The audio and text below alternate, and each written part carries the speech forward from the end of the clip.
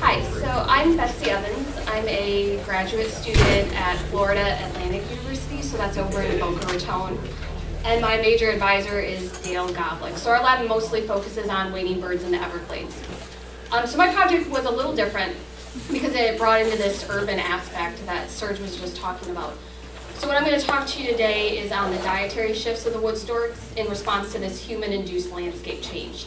Um, so this opening slide shows you a photo that we just took this month on an aerial survey.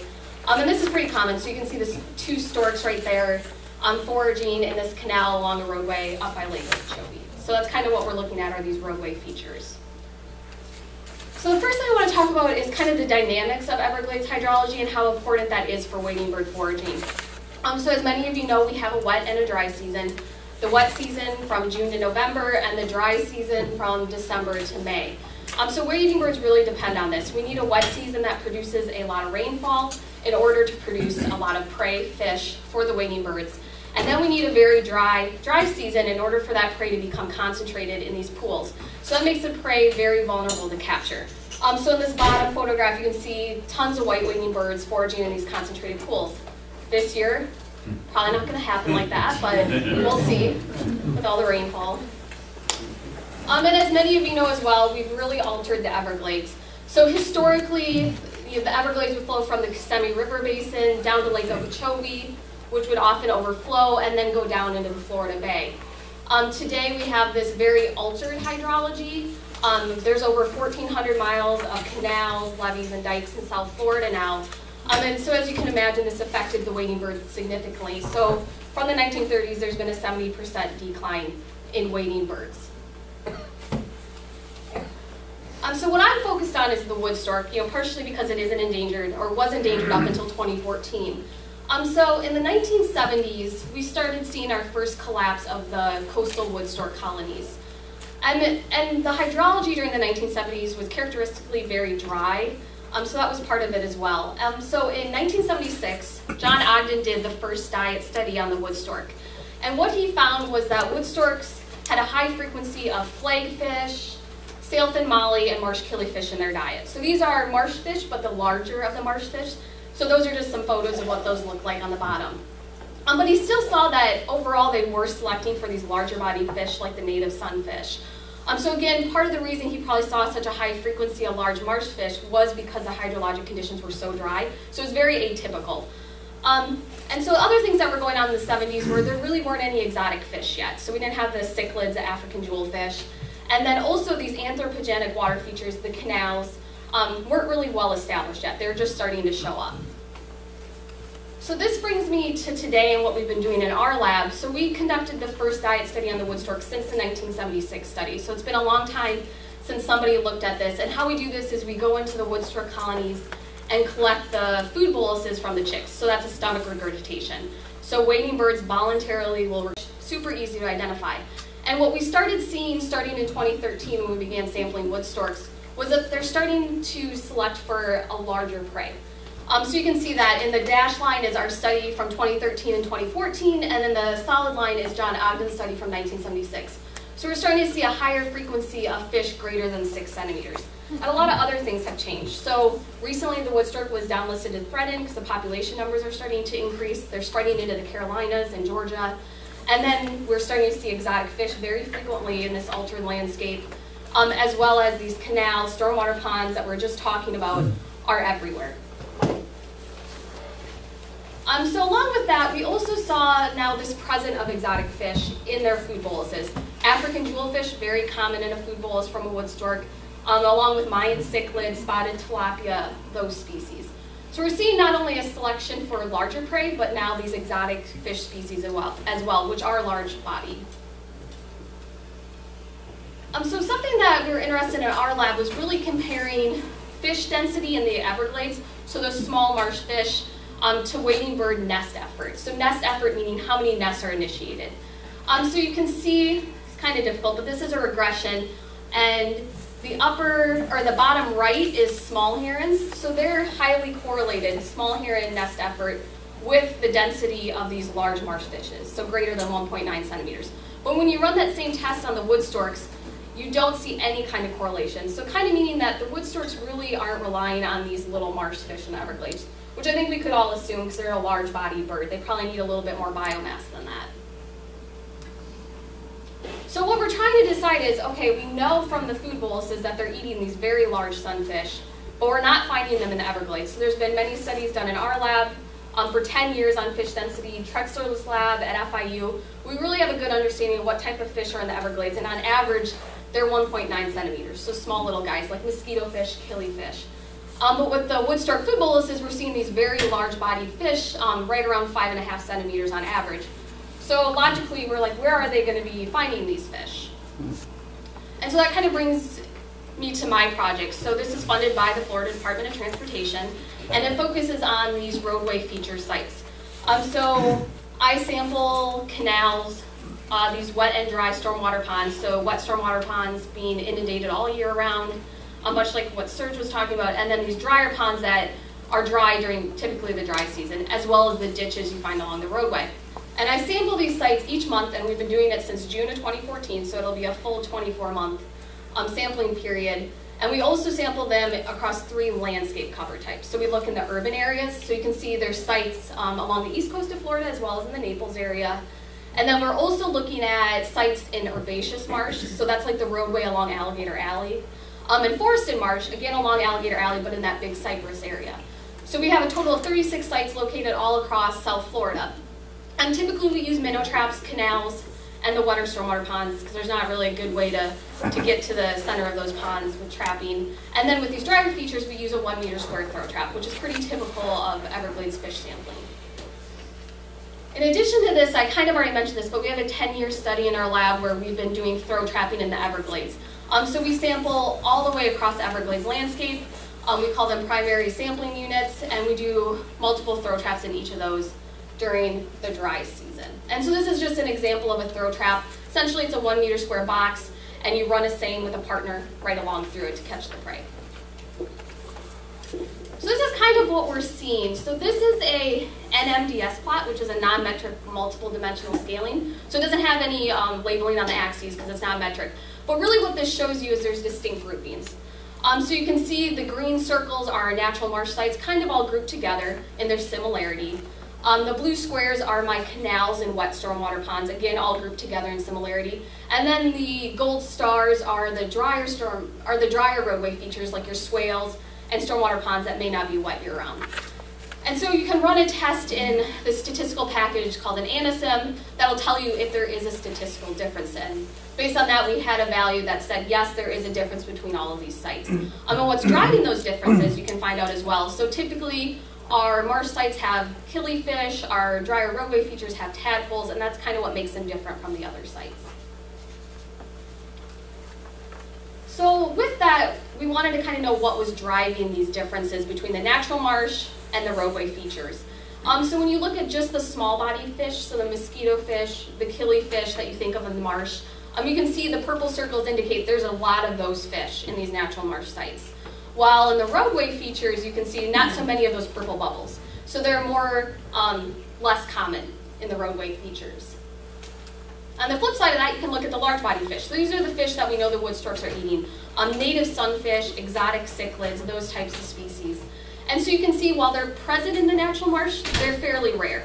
So it's kind of confirming what we knew with our 10-year study that yes, these sunfish occur in the Everglades, but it's really rare to find them. Um, and as you can see in those wetter roadway features, the canals, stormwater ponds, these large bodied fish are much more common. And then I also wanted to look at natives and exotics, and I think this is exactly what you would probably expect. Natural marsh has tons of native fish, roadway features a few.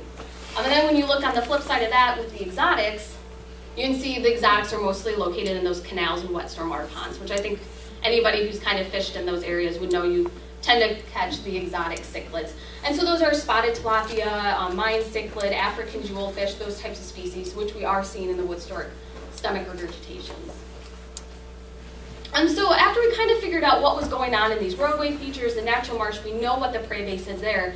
Um, what are the wood storks eating? Um, so as I mentioned, we collect the stomach boluses from these colonies. We have two national colonies that are located in Everglades National Park. Tamiami West, which the nest trees there are primarily pond apple. Um, it's located along Tamiami Trail right off the roadway. Probably drive by it, never even noticed it. Um, which is a pretty large colony, and then Paurotis Pond, which I'm sure if you guys have visited the park, you've driven by during the nesting season where you can see the birds. And the nest trees are primarily mangrove. In addition to that, last year I became really interested more in this urban aspect of the wood stork. And in South Florida, there's quite a few of these little kind of pop-up urban colonies. Um, so I began sampling there as well. So there's one in the BallenIsles communities, which is a very rich community. The like Williams sisters live there, the tennis players. Um, so these wood storks are like nesting like feet from their house um, on this little island in a golf course pond that, like Serge was talking about, has no vegetation. It's very clear um, exactly what people want. And then we have this one um, we call the Sawgrass Colony, located right off the Sawgrass Expressway, which is a major road in South Florida, right behind a car dealership. You can see it from the car dealership. And then the Griffin Road Colony, which again is located right off I-75 in Griffin Road, but it's more in like a little residential park.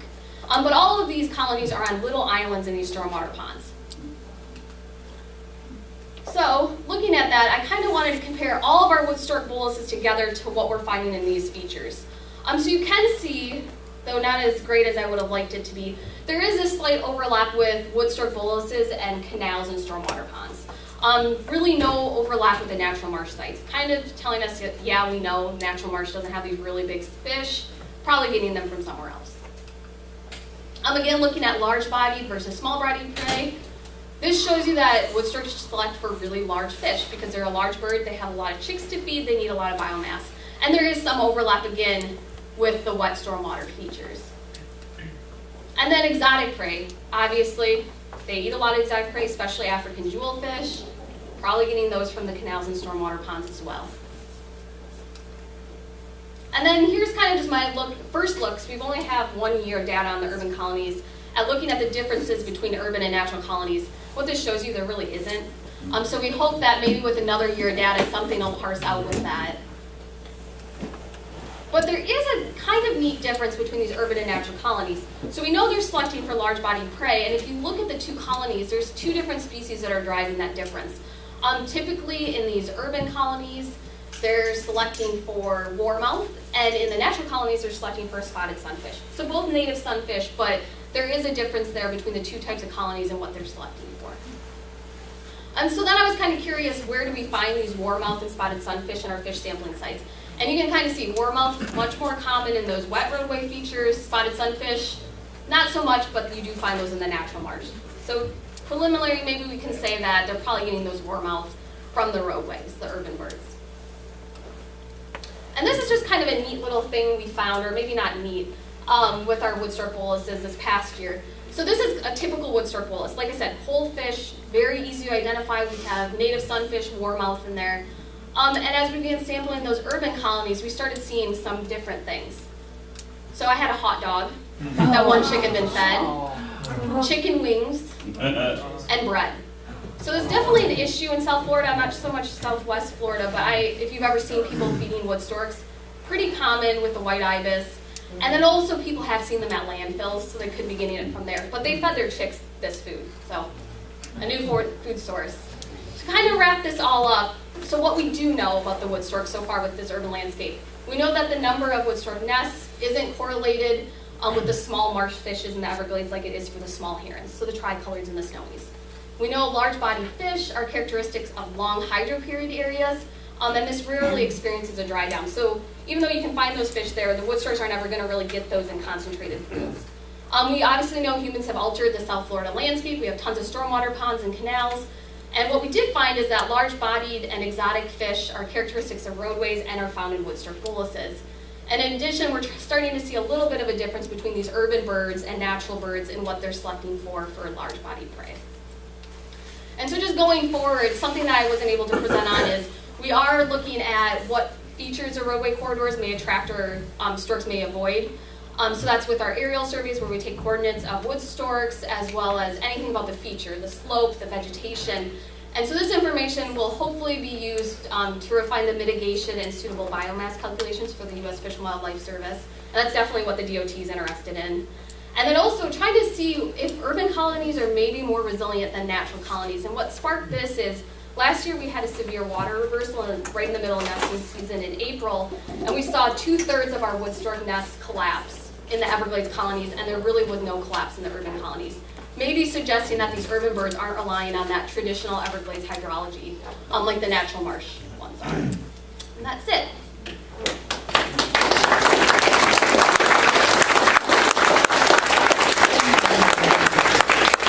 Can we take a couple questions for Betsy?